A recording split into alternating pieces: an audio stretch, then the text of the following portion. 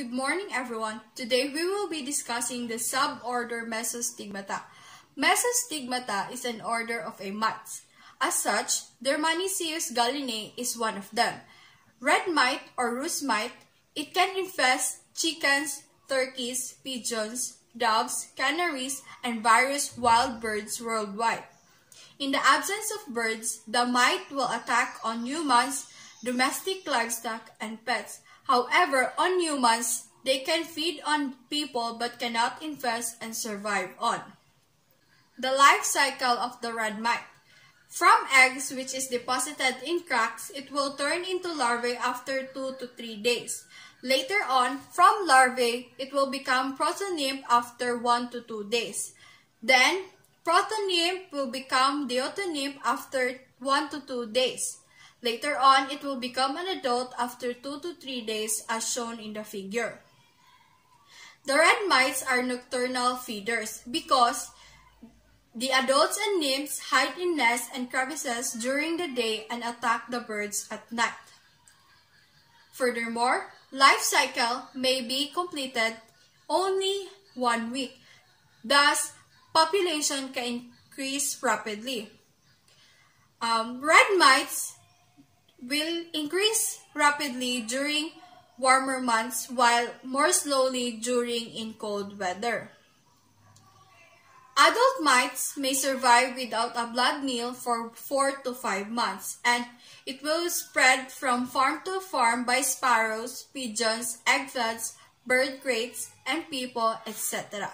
In pathology, the mites mainly cause irritation and annoyance to the chicken, making it restless if it is in low numbers, whereas large numbers of mite can suck enough blood causing anemia in the chicken, resulting in pale comb and wattles, weakness, and dullness. Also, red mite infestation cause restlessness and stress in the flock, as well as skin irritation, feather pecking, dermatitis, and reduced plumage quality is the external uh, identification that the chicken has the red mite. Also, in egg production, there is an economic decrease as well as weight gain and feed conversion efficiency. Moreover, mortality of chicks and chickens in cases of extreme infestations. And because of this, um, there is an effect on the farm stock. They will become irritated and stressed because of this infestation.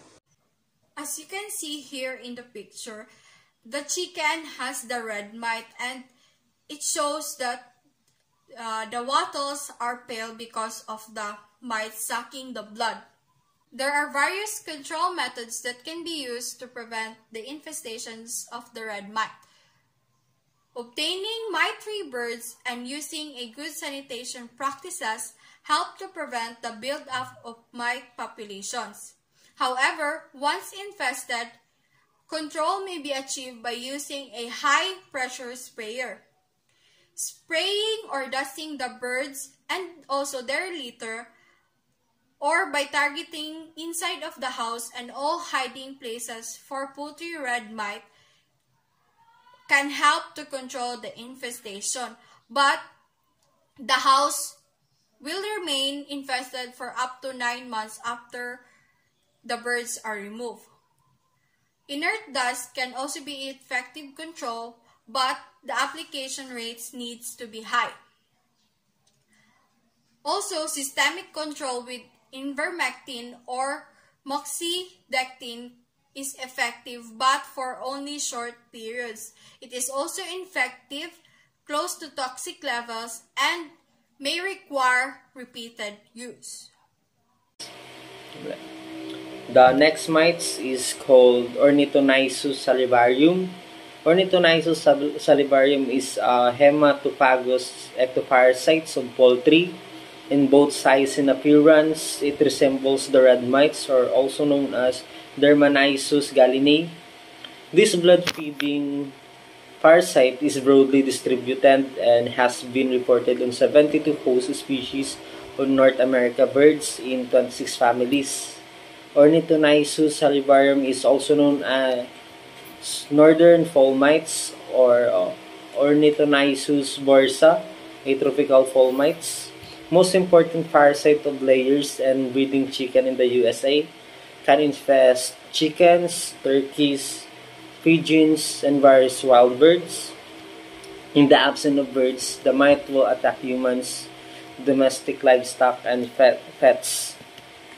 The life cycle of Ornithonyssus sylviarum was eggs deposited on feeders, larvae, protonymphs, deutonymphs, adults live on the bird, complete, can complete their life cycle in 5 to 12 days. Adults spend most of the time on host but some may be found on rust and in cracks.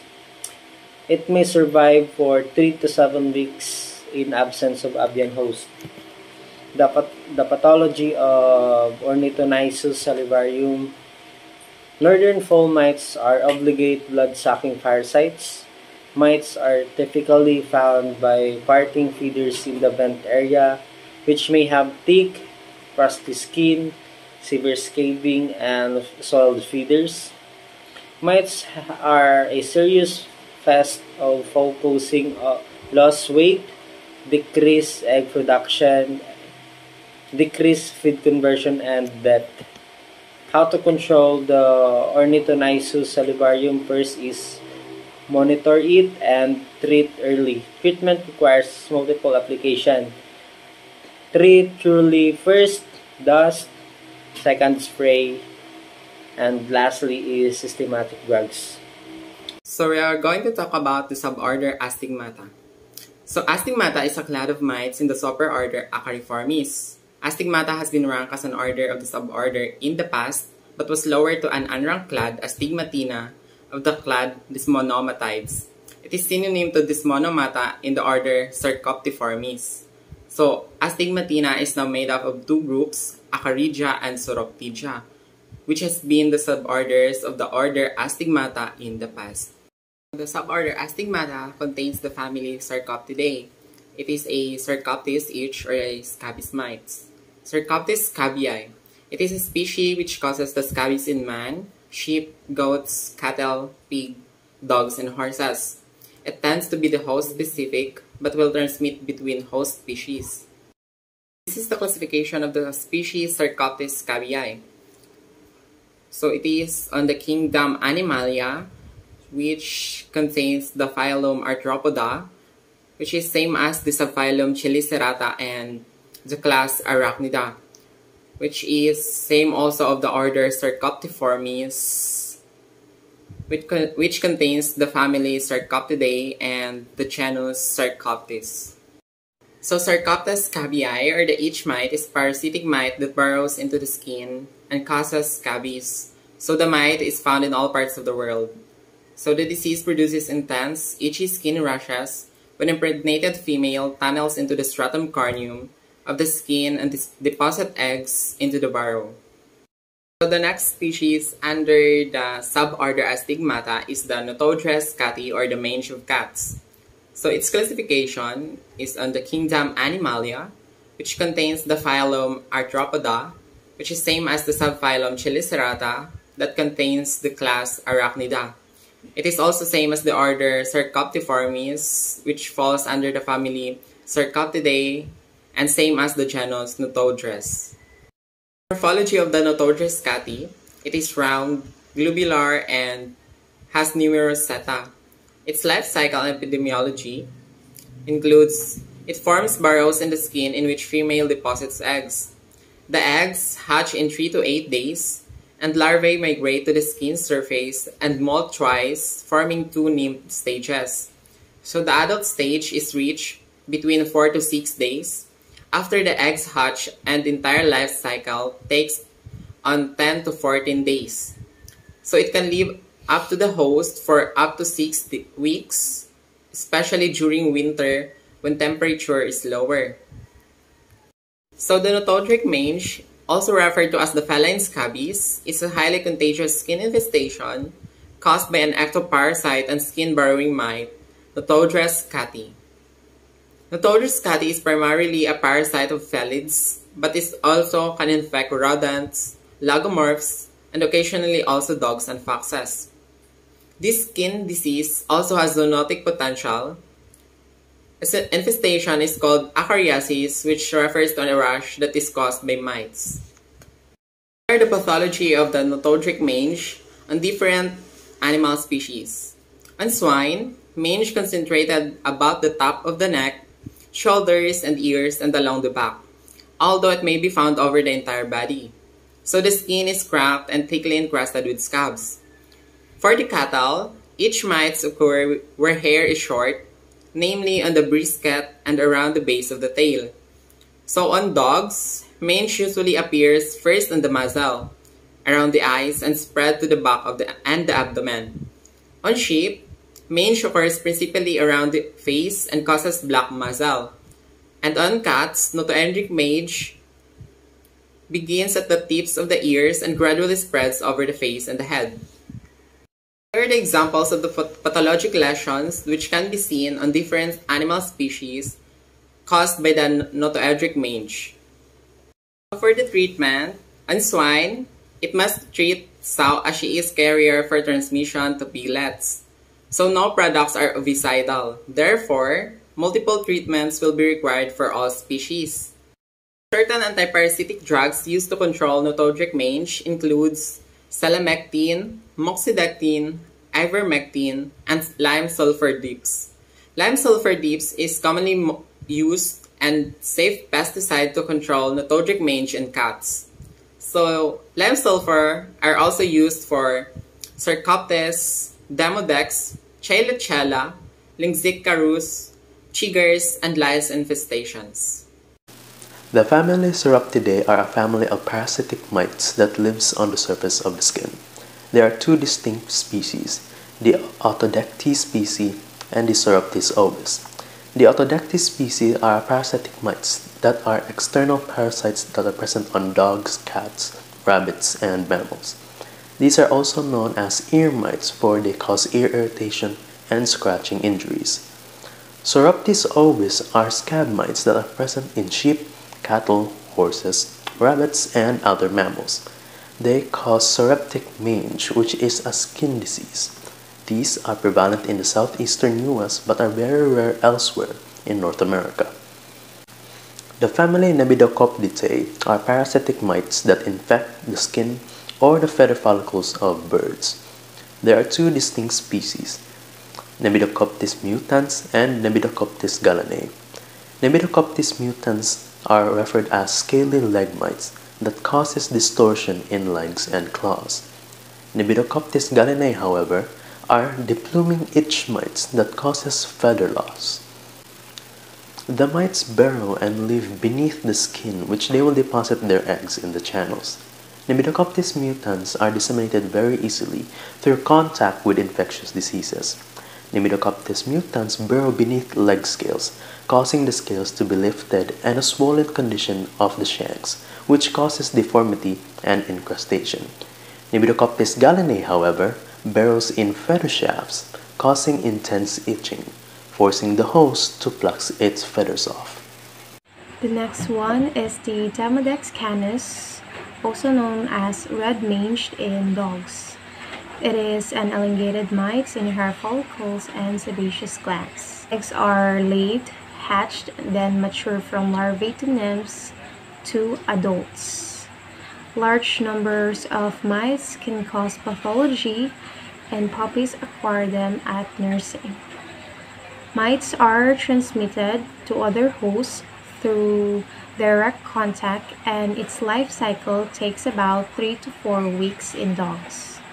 Mites target hosts that have a weak immune system, and localized amyloidosis is common in puppies around 3 to 6 months of age, and it appears in small circumscribed areas in alopecia, erythema, and scaling of lips, periorbital, and the front legs. Pruritus is maybe absent or mild. The generalized demodicosis is prognosis guarded and intractable, meaning this is hard to control. Erythema, papules, alopecia, oily seborrhea, edema, and crust are one of the observed symptoms of generalized demodicosis. It is often accompanied by pyoderma, which causes folliculitis, furunculosis, or cellulitis, and the demodectic pododermatitis, which is common in digital, interdigital, and plantar. The juvenile onset demodicosis, as pup gets older, delocalizes, progresses to generalized severe disease, and this is due to an inherited immunological defect. Another one is the adult onset demodicosis, which is triggered by immunosuppressive pathologies. For instance, the neoplastic process, which is the uncontrolled or the abnormal growth of cells and tissues in the body. The debilitating disease, which may come in many shapes or forms. And the last one, the immunosuppressive therapy, which is a drug regimen that used to lower the body immune response. Age, condition, other illness or infection, and genetics are the predisposing factors. Diagnosis can be done through deep skin scrapes or hair plucks.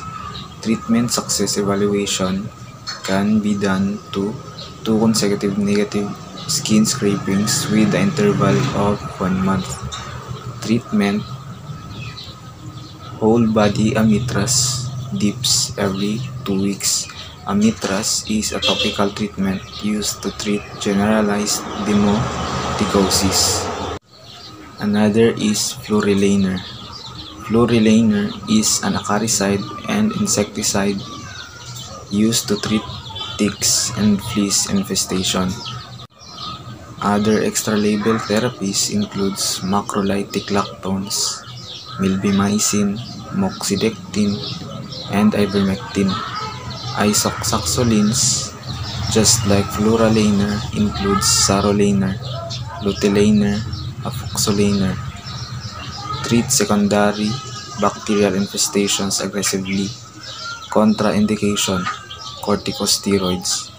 Contraindication is defined as a specific situation in which a drug, procedure, or surgery should not be used because it may be harmful to the animal. So corticosteroids should not be used or administered if the dog is suffering from demodicosis. To prevent the disease or spread of demodicosis, dogs with juvenile onset generalized demodicosis should not be used for breeding.